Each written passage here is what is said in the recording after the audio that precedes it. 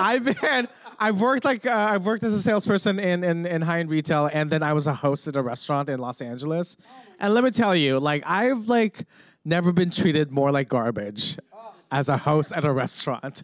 Like I was used to like helping like all these like crazy um uh high maintenance customers in high end retail, but like when you work at a restaurant and you're dealing with people who are hungry and want their food, like they will scream at your face like with no problem. I don't want to open up uh, any any old wounds here, but what's the what's the worst mem- What's the worst thing you could share that you remember? Is there a moment from that moment, a dark moment in time that somebody was so mean to you? Well, it's LA, so I got a lot of like, "Do you know who I am?" I'm like, "I don't." Uh, I'm Best like, response. Yes, I don't.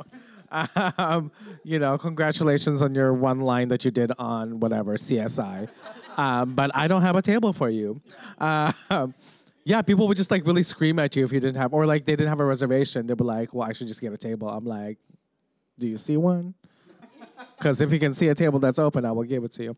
Um, yeah, people are just mean. People are mean. Yeah. People are mean, and I would never in a million years, especially coming from that world, assume you would behave in that way. But have you ever felt close to it? Have you ever felt pushed by society, like a moment in time where you're like, uh, in a second, I'm going to have to tell them I was in crazy Oh, rich Asians? Like, here's- have you no, but here's the thing. So I worked in customer service, Yeah. and so I understand. Listen, I understand that there are like really shitty customers out Yeah. there, and and people have tempers and whatnot. But I also understand what the job is and how to do the job. So when I encounter somebody who cannot do the job properly, then I get really pissed.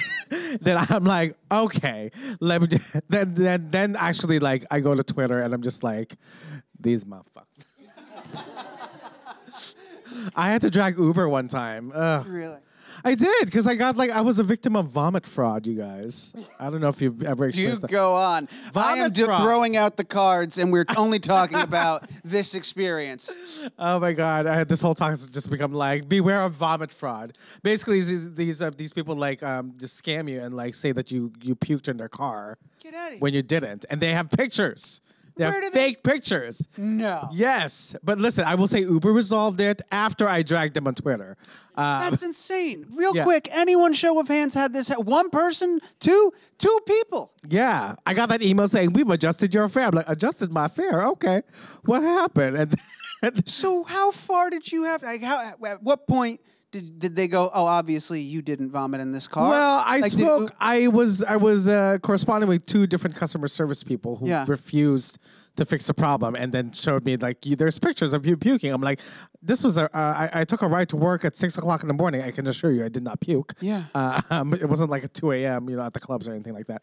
Um, I was on my way to work, and uh, yeah, they refused to fix the problem. what a weird world we live in. Yeah, exactly. But that is something that I, that is that is fascinating. Yeah. Thank you for opening my eyes. I have that. a short fuse when it comes to customer service, actually, because get I, know, that. you know. Yeah.